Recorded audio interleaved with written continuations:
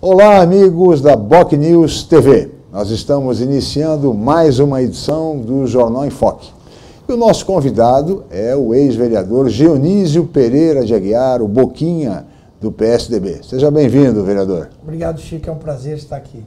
E o nosso convidado, o ex-vereador Dionísio Pereira de Aguiar, é o primeiro suplente, foi eleito, quando da eleição, melhor dizendo, ele obteve a primeira suplência da coligação liderada pelo PMDB, foi muito bem votado, foi o quinto colocado. E agora, recentemente, em razão do falecimento do vereador Marcos de Roses, que era do PMDB, abriu-se a possibilidade de um novo, de um suplente ser convocado para exercer o mandato no Legislativo Santista. E todos esperavam que fosse exatamente o primeiro suplente da coligação eh, liderada pelo PMDB. Ocorre que o vereador Dionísio Pereira de Aguiar deixou o PMDB e filiou-se ao PSDB, e isto gerou uma polêmica jurídica e também eleitoral. O fato é que a vaga deixada pelo vereador De Rosa está sendo ocupada hoje pelo terceiro suplente da coligação, Fábio Duarte, que é policial militar e está sem partido mas isto fez com que Dionísio Pereira de Aguiar recorresse ao judiciário no sentido de reivindicar a vaga, já que ele entende que teria direito, posto que não estava confortável no PMDB à época de sua saída para o PSDB. Em que pé está esse recurso, vereador? Obrigado pela sua presença. Mais uma vez, eu que agradeço, Chico. É, nós é, entramos, posto um, um, recurso, porque entendemos que não, não foi justa a, a posição respeitamos a posição dos do judiciários, do judiciário, mas eu, eu, acredito que no caso específico houve um equívoco, né? É, eu realmente saí é, em março do PMDB porque não, não tinha, depois de 13 anos de PMDB, eu não tinha mais clima é, dentro do partido, até porque eu praticamente fui excluído de toda a conjuntura partidária, é o que se diz. É, não, não me convidavam para nenhuma reunião nos últimos dois anos, não fiz parte sequer convidado para ser o terceiro suplente é, da chapa é, que tinha sido é, colocada para uhum. votação, que era na presidência Sim. do Marcos. E, e aí, depois desses 13 anos, é, dignamente fui ao presidente, falei que não tinha mais ambiente, porque, inclusive, confidenciei a ele que eu tinha medo é, que no ano que vem não me dessem legenda, né? E aí fui convidado, na ocasião, é, pelo prefeito e pelo, pelo deputado Papa, a ingressar nos quadros do, P, do PSDB, da qual aceitei e participei. Né? E aí, infelizmente, acabei sendo surpreendido na quinta-feira. Eu estava já indo é, para a Câmara, como cheguei uhum. É, nas dependências, quando o diretor falou que, teve, que tinha uma liminar é, do juiz dando é, ao Fábio Duarte, que ele tem o direito até de recorrer. Claro. Mas é, é só no país que o, o, terceiro prevalece na frente do primeiro, até com o número de votos. Lembrando, Chico, eu, eu fui o primeiro é, suplente do PMDB, mas eu fui o décimo terceiro mais bem votado da cidade. Então, mais uma vez, a vontade Sim. que seria democrática, popular. popular, não foi alcançada. Digamos, se existisse o distritão, o senhor seria vereador. Com certeza sa, sair, eh, estaria eleito. E aí, até por uma, né, por obrigação, né, com o meu eleitor, que confiou em mim há dois anos e meio atrás, eu tive que, que entrar com recurso. Espero que seja julgado favorável e eu ocupe o mais rápido possível a Câmara. Vale um registro, porque é, o, vereador Boquinha foi o primeiro suplente, ele foi o quinto colocado na coligação. O que está exercendo o mandato foi o terceiro. O segundo, Fabiano da Farmácia, também é a mesma situação. Mudou de partido, foi para o PHS e, portanto, também foi, é, na, na, na, como eles não estavam na, na, coligação, portanto, o juiz optou em que assumisse o terceiro colocado, que está sem partido, porque é policial militar nativo. Então, é uma situação bastante confusa e vamos ver se esses recursos vão acabar dirimindo essa questão para que se defina de uma maneira assim é, definitiva qual deles vai assumir até o final deste mandato a vaga deixada por Marcos de Rosa. Agora, de qualquer forma, o senhor já disse, é candidato o ano que vem pelo PSDB. Sou candidato pelo PSDB. Pelo PSDB, quer dizer, reforçando uma chapa. Aliás, há, uma, há um, um, cenário um tanto quanto complicado para o ano que vem com relação às eleições para vereador. Você não entende assim? Há um número grande de candidatos, muitos partidos, partidos novos, como, por exemplo, o PSD de Gilberto não, Kassab. Encontro e, e eu acredito que muitos partidos vão ter uma imensa dificuldade de se formar uma chapa. Né? É, é o caso um, do PMDB, por exemplo? Sim. Um dos motivos, inclusive, é que ao decorrer desse tempo eu vinha alertando que nós já estávamos perdendo vários candidatos, como aconteceu, e você lembrou bem, do, do próprio Fabiano. Antes de eu sair do PMDB em março, eu já alertava, então, o ex-vereador, o, o Marcos, que abaixo de mim nós tínhamos perdido uma quantidade muito grande de eh, candidatos que faziam parte na chapa. Na chapa. E que da qual a gente teria muita de, dificuldade de formar uma chapa. Você imagine que um partido onde tenha quatro vereadores, você fica receoso a fazer parte de uma chapa porque diminui consideravelmente a sua chance de ter êxito. Uhum. E, e, e nisso eh, não se tinha uma preocupação partidária. E foi deixando é, nomes de pessoas que tiveram 800, 500, 300 votos acabarem deixando o partido. E, e famoso e, rabo de chapa, né? Famoso que... rabo de chapa. E hoje eu acredito que eh, a maioria dos partidos vão ter as mesmas dificuldades. Hoje, Chico. A exceção talvez do PSDB, que parece que o prefeito está montando aí como, é, como diz, um grande Jumbão. Diz, o Jumbão, VLT, enfim, é. grande VLT. É, o, o PSDB está é, é tá numa, numa situação um pouco mais favorável em função até de ter é, um, um, candidato a prefeito à reeleição e que tudo, pelo menos e, que tem tá seis vereadores, né? Prevalecendo num, sem até concorrente a, a, cargo de prefeito. Então tem uma certa vantagem. Agora, é, Chico, que eu hoje estou sofrendo com esses recursos, você pode ter certeza que até o final de setembro pelo menos cinco vereadores que têm assento na Câmara vão ter a mesma situação. Vão mudar de partido? Vão mudar de partido. A dança partidária está acontecendo aí? Vão. Eh, eu, nós vamos ter mudança Dá um exemplo. no DEM, nós vamos ter mudança no PT, nós devemos ter mudança no, no PSDB, inclusive? PSDB, no PSDB. Nós vamos ter mudança no PR e vamos ter é, uma mudança, devemos ter uma mudança no PSB. PSB também. Também. Então, é. É, porque são. É, Cada um buscando a melhor maneira de se, se reeleger, no caso? Se reeleger ou encontrar uma saída dentro daquela quantidade de votos é, que tem para ter uma cadeira. O senhor disse que foi o 13 terceiro é, colocado na última eleição. Né? É, o PSDB elegeu seis. O senhor eh, estaria em relação ao PSDB, o senhor estaria em que seria, classificação? Eu seria o quarto, é, com uma diferença de 100 votos a menos do vereador Cacá, que foi o terceiro mais bem votado. Então o senhor estaria eleito, mesmo que fosse candidato pelo PSDB na eu, última eleição? Eu estaria eleito em qualquer em partido. Qualquer, em qualquer circunstância. Menos, infelizmente, no PMDB, da qual, da qual, Chico, é, é bem, e, e uma oportunidade até daqui eu esclarecer, o mesmo que ocorreu comigo há seis anos atrás, quando eu também fiquei de primeiro suplente no PMDB, né, onde naquela ocasião elegeram o vereador Banha e o vereador Constantino. Eu também tinha voto suficiente é, para é, estar naquela Câmara, onde tinha 17 vereadores, e mesmo assim não saí. É, eu estou falando isso porque saiu na imprensa uma possibilidade que eu estaria querendo voltar ao PMDB em função é, de, de, ter uma manobra para que não, não fossem essa possibilidade que estão tendo e, e, fizeram de querer caçar o meu mandato por ter saído do partido, não ocorresse. Não é verdade. Sim. Eu nunca não liguei para ninguém. O que se teve foi uma especulação a nível aqui é, de membros do partido aqui embaixo a possibilidade de eu voltar para o PMDB. Eu sa... A única coisa que eu, eu disse que eu saí pela porta da frente do partido. O senhor não cogita voltar ao PMDB? Não, não, não. Eu não. Eu não, não, não, Porque não, não os jornais publicaram que o senhor eh, admitia a possibilidade de voltar ao PMDB para assumir o cargo. Não, não, isso não é verdade. Ah, quando, quando, então, ah, o repórter pergunta para mim, ah, mas você nunca mais? Eu falei, ah, eh, na vida pública, a gente, essa coisa nunca mais.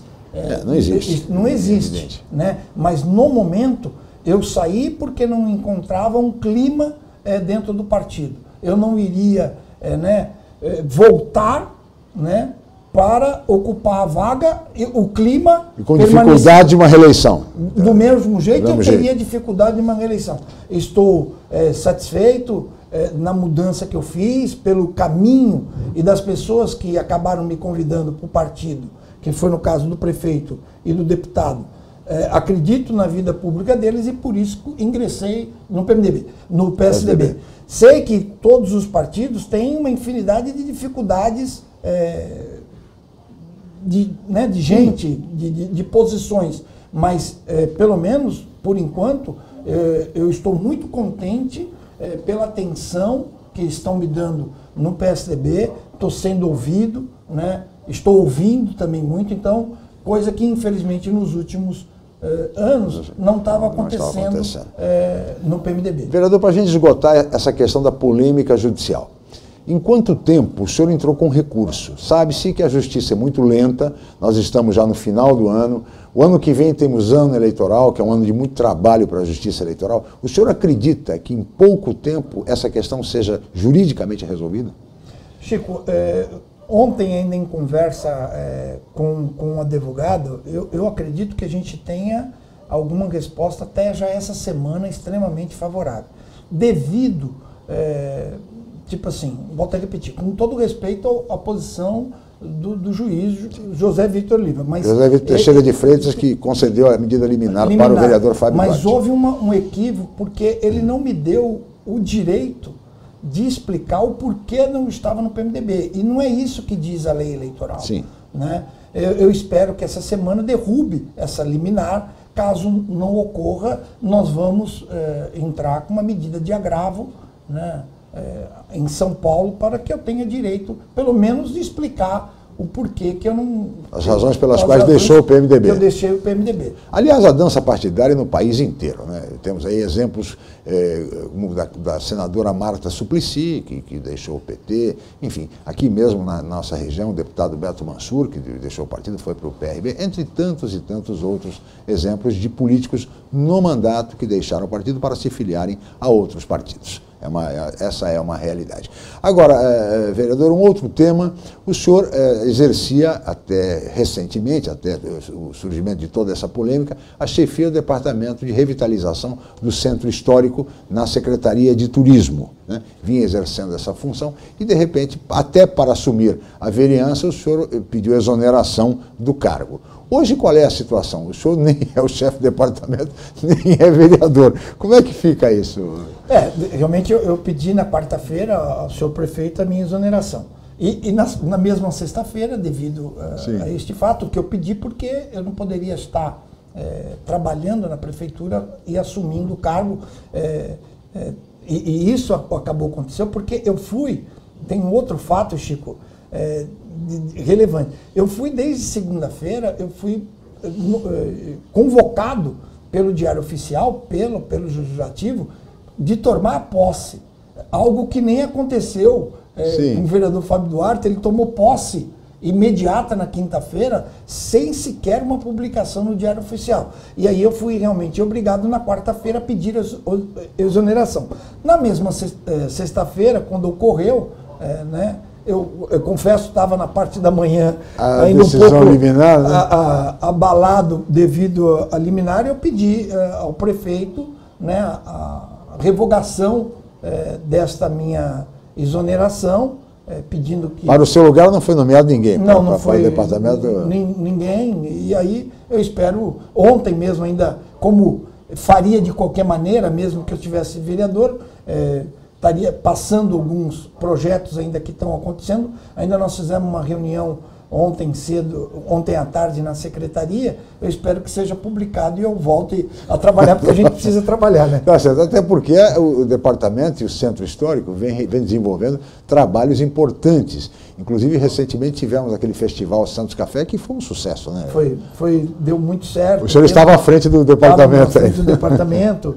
Temos, foi um, um, belo, belo espetáculo e acho que vai até ser repetido, né? Vai ser repetido no ano que vem. Temos aí, a gente estava tendo, na, na quarta-feira mesmo, antes da, da, coisa, nós tivemos uma reunião com todas as secretarias, algumas modificações na lei do projeto Alegra Centro, da qual eu estou é, à frente, né? Sim. Estava à frente é, na organização junto às outras secretarias. Vamos ter a, possibilidade, o secretário Luiz Guimarães até anunciou eh, no final de semana, estamos tentando fazer um projeto com questão de floreiras é, no centro histórico. É, vamos ter a modificação propriamente da lei do Alegra Centro, onde estamos tentando encontrar uma saída.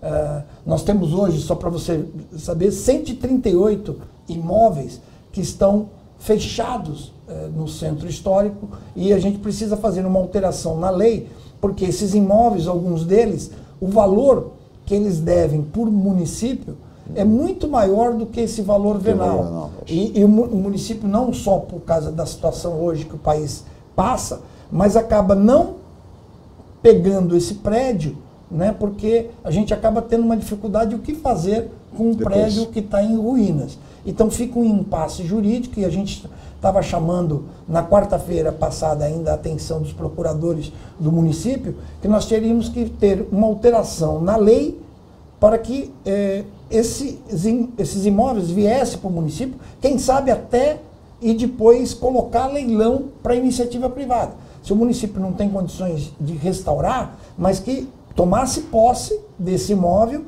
e colocasse através de uma licitação pública à disposição do empresário que tem vários empresários que querem investir, eh, enfim, restaurar, pode ter a possibilidade de, de comprar, ele comprando um imóvel no centro antigo, ele, ele usa o potencial construtivo numa outra numa obra que ele esteja fazendo num outro lugar da cidade. Então, acho que é, em cima dessa desse trabalho todo que a gente estava fazendo no centro, por isso que eu também quero voltar para claro. que possa Não, ter continuidade. E, e evidente, isso foi uma, uma situação que realmente ninguém é, poderia ninguém esperar, esperava, é. ninguém poderia imaginar. Nós já estamos, vereador, nos aproximando do final do programa, mas eu queria colocar na questão do centro a, a, o aspecto da segurança, que é a principal preocupação o senhor é, conhece bem o centro, conhece bem os comerciantes do centro, sabe que essa é uma queixa, é uma reivindicação. Como é que se pode, ao menos, vereador, amenizar o problema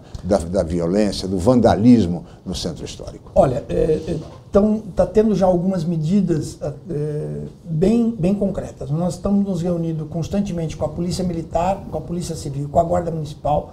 É, algumas blitz de madrugadas estão sendo feitas com as pessoas que estavam é, fazendo comércio ilegal de bebidas, essas coisas todas Sim. no centro. tiveram várias ações ao, ao, decorrer dessas duas semanas com apreensões de, de mercadoria. É, tem a questão das câmeras de segurança, um, um, uma, uma, um olhar mais próximo Sim. de madrugada, colocando alguns guardas municipais diretamente só olhando aquelas câmeras do centro histórico, do centro histórico para que a gente evite é, graças a Deus, nessas últimas semanas já diminuiu consideravelmente. Ainda está, infelizmente, alto o número de, de roubo de carros, Sim. né? É, da qual a gente está tentando é, fazer uma parceria com os táxis e com os donos de estacionamento, é, pedindo para que eles coloquem um valor mais acessível para que as pessoas acabem, acabem usando o táxi, enfim. usando o táxi e os estacionamentos. Mas eu acredito que a gente é, consiga, por parte do próprio comerciante, tentando fazer com que ele é, convença esse comerciante a levar para as casas noturnas um outro tipo de música, de música também, né? né? que, é. que leve para o centro um outro público. Veja o sucesso do Santos Café, do é, Festival e, Santos e Café. E é mais ou menos em, em cima desse exemplo que a gente quer. Olha, traga para cá um público que você vai ter um pessoal. Eu acho que todo mundo tem o direito de curtir Sim, o seu sim. gênero musical. Mas a gente sabe que, infelizmente, algumas eh, baladas e algumas promoções que as casas fazem eh, no horário noturno, leva-se um tipo de público, público. que, infelizmente, acaba causando algumas desordens. eh, Confusão, briga, confusão, briga, e é o que a gente quer Evitar. evitar. Eu acho que, eu acredito ainda muito no centro. Eh, Eu acho que a gente teve, infelizmente, uma queda, eh, Uhum. né? mas foi bom porque o governo está reconhecendo que precisava ter Mexer, uma, mudar. mexer, ter uma medida, e isso está sendo feito. E espero que aí o centro volte, eh, pelo menos. Aos seus dias de glória, é o que todos nós queremos. Bem, vereador, tem aí um belo desafio pela frente ah, na, na chefia do Departamento de Revitalização do Centro Histórico, cargo que provavelmente deverá eh, voltar a exercer em breve. E assim eh, chegamos ao final desta edição do Jornal em Foque. Agradeço muito a atenção, o carinho, a audiência dos nossos internautas e até a próxima edição.